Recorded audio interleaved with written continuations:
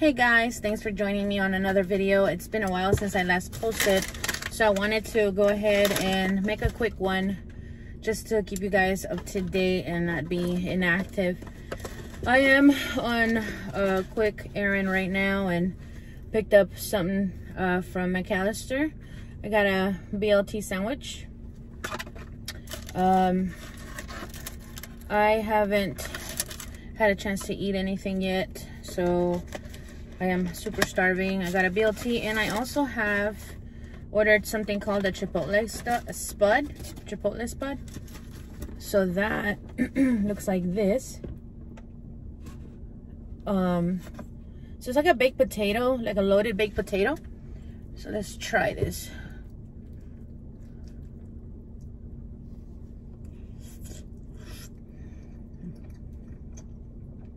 Mmm. Wow, very cheesy. So, I've been MIA for a little bit.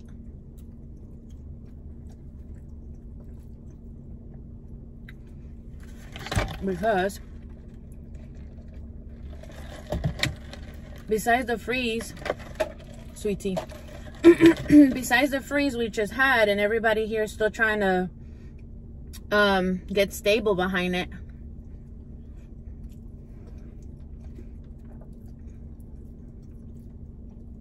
Restaurants still don't have other um, deliveries. So there's restaurants that still don't have all their um, normal menu. Like this, for example, is supposed to be a chicken chipotle loaded uh, baked potato. And uh, after I placed my order, they called and said, hey, we don't have any chicken. So I tried ordering a chicken Caesar salad wrap. Same thing. There was no chicken for the wrap.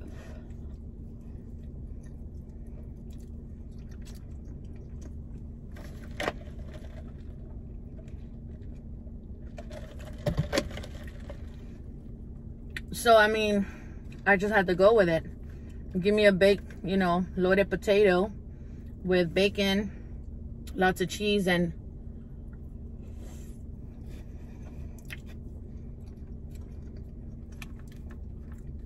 then give me the chives. I forgot the sour cream. I requested it on the um the um um what is that? the extra seasonings and stuff. But it's okay.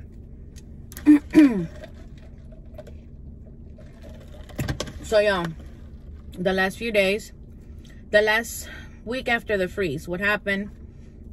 Besides that, that's gonna be another day. I'll tell you about the freeze. But I've been dealing, me and my family have been dealing with a very scary situation.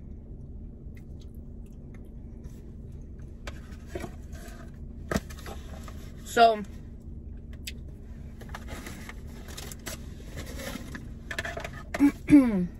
last summer, we had just moved into this new place. And, um,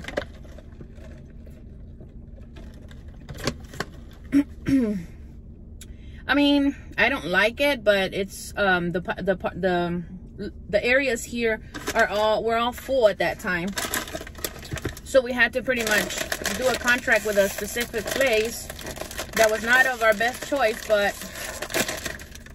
but it you know it was gonna do it. It was gonna do it for the moment. So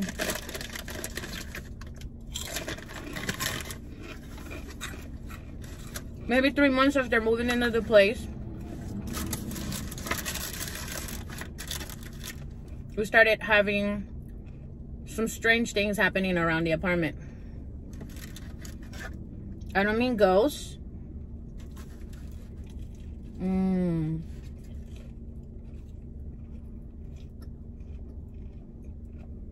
Mmm. Mmm. Mmm. Mm. This is so good. Wow. Let me show y'all. We got the avocado, the bacon, the lettuce. Oh, it just fell apart, you guys. Oh, look at this. But, um,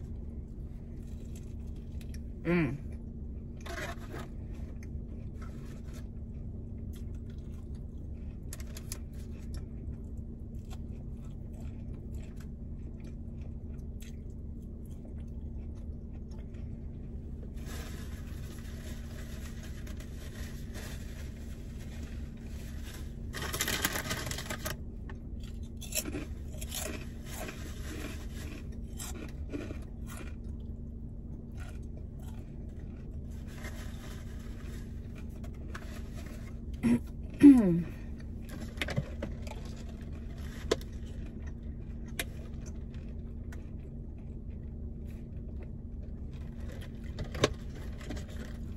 so I was asleep like maybe I went to bed about nine o'clock. Around 1 30 a.m I get woken up by a knock. A very light knock but they stayed knocking for a long time and it woke me up mind you. I listen to um, white noise in the background.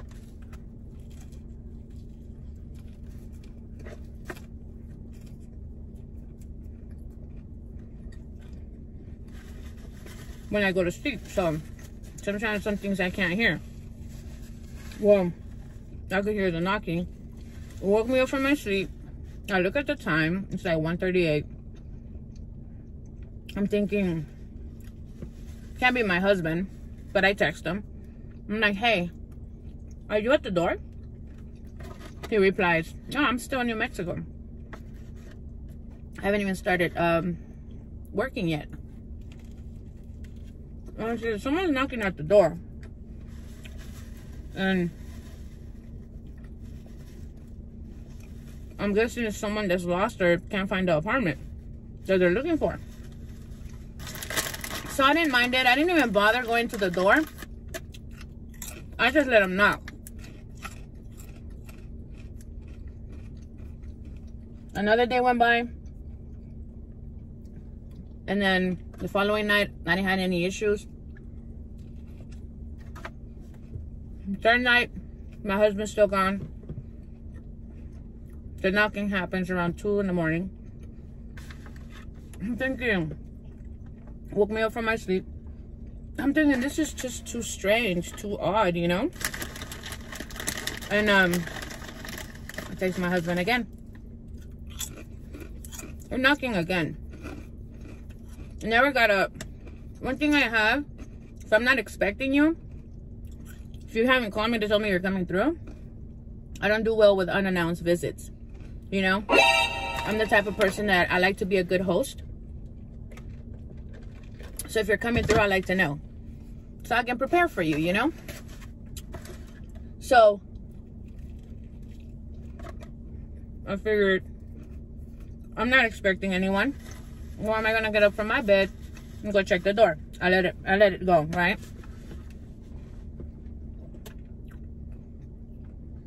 My husband got back from work, maybe that's the following day in the daytime. No knocking happened. He was probably home for four days. No knocking happened. My husband leaves on another job back to New Mexico. Knocking started at 12.30 at night. Um, now I'm getting suspicious. Who the hell is knocking on my door every other night or anytime my husband's not home? You know, that's like the most strangest part about the whole thing. So, I was thinking, you know, maybe, maybe they aren't lost. Maybe, maybe they do want me to open this door. But then I said, that's just too weird. It's never happened to me. It's just too weird. But, I noticed a trend. Anytime I was home alone, the knocking will happen. So I call the cops.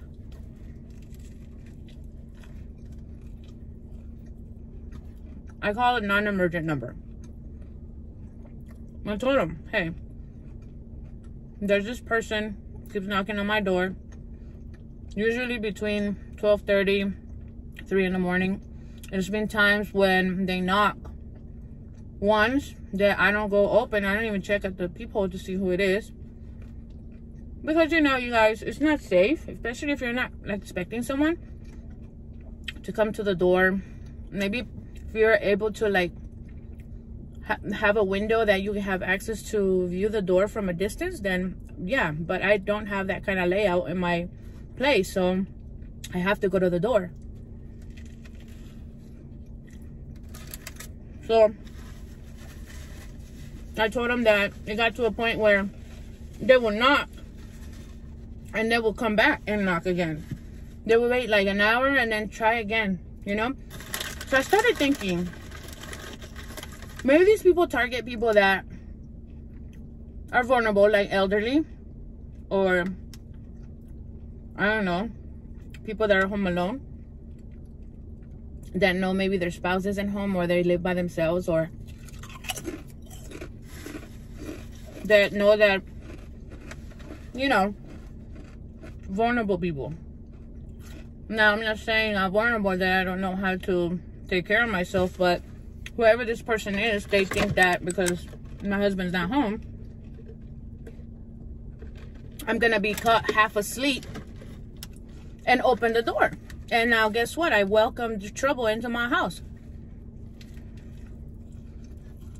So 911 dispatcher, you know, send a courtesy officer to do a patrol of the perimeter. They didn't find anybody. But this now started happening every other night. I said, okay, let me see if I can get a, a alarm camera or something outside my door. You know, most places where you're renting, they have a policy of no uh, drilling on the structure. You can't put like satellite, you know, mounted on certain structures or things of that nature. So I pretty much couldn't put the ring camera mounted on my wall outside of my door. So I waited and I decided to do, you know, those uh, homemade security systems. What is the homemade security system? My security system consisted of, obviously, I got guns at home. I got swords at home. I got all kinds of stuff that I keep as a hobby, collectible, and I just, you know, I like weapons. I go shoot at the range sometimes. So, besides that, I made a homemade a homemade uh, security system, and it was a pen and paper and tape. A note. Smile. You're on camera. Plastered that on my wall, front door. Problem fixed. The guy stopped, or the person, or it stopped coming behind that note. So, I'm just glad that the harassing has stopped. The winter came, no problem. No problem, we're good. The freeze happened just like a week and a half ago. and um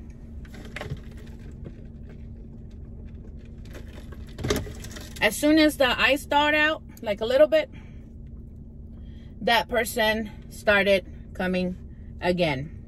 This time, we got to see who it was.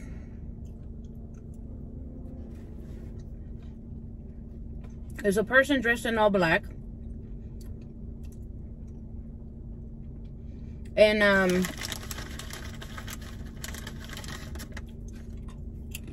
he's tall he wears a face mask and a hoodie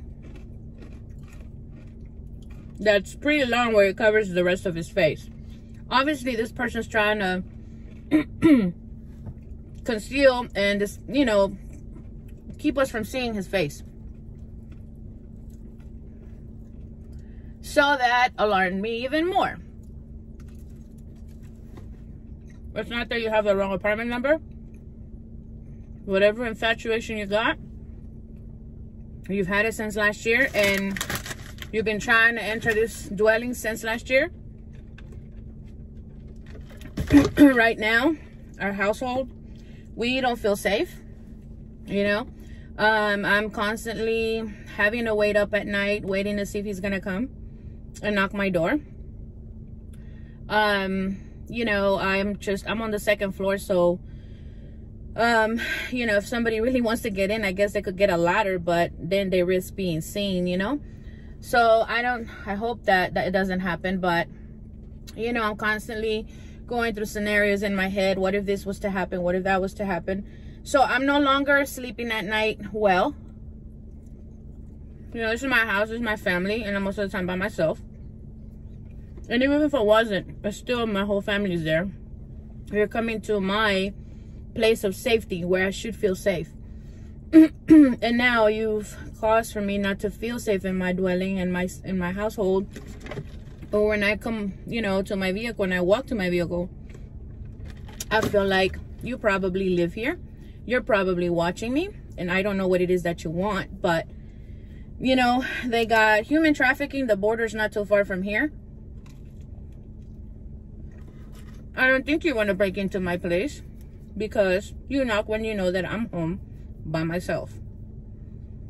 So, this is a very anxious situation. Like, I'm anxious about all this. This is a very, like, terrifying situation because I feel, you know, we're being targeted right now and I hope that it can get fixed soon. I ordered the, the ring. So what happened was there's this company that sells a housing system for the ring where it doesn't have to be drilled onto the wall. And um, you can mount it in this housing and then slide it onto your door. So it's like a clamp that goes on your door, like a clamp, right? On one side the ring is is is like in the slot and then on the other side you close your door and pretty much prevents from anyone stealing the the camera system or having you to drill into the wall. So i ordered that through amazon. But it's gonna take a few days and i have prime but for some reason this item couldn't be um, prime delivered. So i've literally had to wait a week and a half for it. And um I'm still waiting for it. It says March 5th. The ring already came in. I bought the chime. But the problem is this. This is why I would like this camera out there besides, you know, knowing when you're coming to my door and preparing for it. But the fact that I don't have a facial description of this individual right now, therefore I can't do a police report. The cops, you know, if they get called out and they do see several individuals walking out in the yard, um, the patio, you know, they, they run into the whole risk of profiling people or, you know, um, somebody being upset. You know, I can't just uh, assume of what they look like because if that officer again pulls up, you, you, you begin to have problems, you know, about the individual that's getting stopped and questioned because they might feel targeted um, or um, discriminated even, you know? So the guy's like, hey, you know, the officer said, we really want like a picture of this person or if, if you could get a video so we'll know what we're looking for. So Kai, last night, last night, the guy came. He came to my home and I think because he was coming up the steps, maybe he lost a step. I don't know, but it sounds like he stumbled on his way up the stairs. So I heard like um like bones. Like you know when like you're about to fall and like i guess his back hit the wall? I don't know. But i could hear like bones making contact with the wall which prompted me to hurry to the peephole and see what the hell the sound was. I think the guy, because he was so loud, got discouraged from actually walking all the way to my door and started to walk back down. So on his way back down, I felt like, I mean, because again, I told you he knocks with like an object, like a metal object. So I don't know what he's using to knock on the door, which makes me believe that he might have a weapon, right? On his way down, I felt he's vulnerable. I can see maybe, you know, take this moment, this slight chance I have to maybe see a face. So I locked the door immediately and I opened and I didn't expose my whole body. I just poke my head out and he turns around. He turned around but you know that fight flight that we have whenever we're like under stress or in a uh, anxious situation of escaping or whatever like your adrenaline is going he didn't move like that you guys. He moved like he was drugged he like slow motion turned around and looked back because remember, he's going down the steps. And when he turned around, I seen this part of his face. He had a mask on and his hoodie. But when he turned, the hoodie lifted. And I got to see this part of his face. Okay? That's still not enough for me to do a report. Because I don't have a full, you know, hairline and the face and all those small details that help a description like a tattoo or you know, mustache and hair color. I just know his ethnicity. That's it. But he saw me. I saw him. We made eye contact. Okay. And since he was leaving, I didn't want to lead him on to an argument. I didn't want to lead him on to wanting to know what I was up to. Like, what is my plan as far as my mind, my state of mind? You know what I'm saying? So I didn't say nothing, but I just gave him the look. Okay. And he looked at me like, oh, shit, I messed up, you know? So,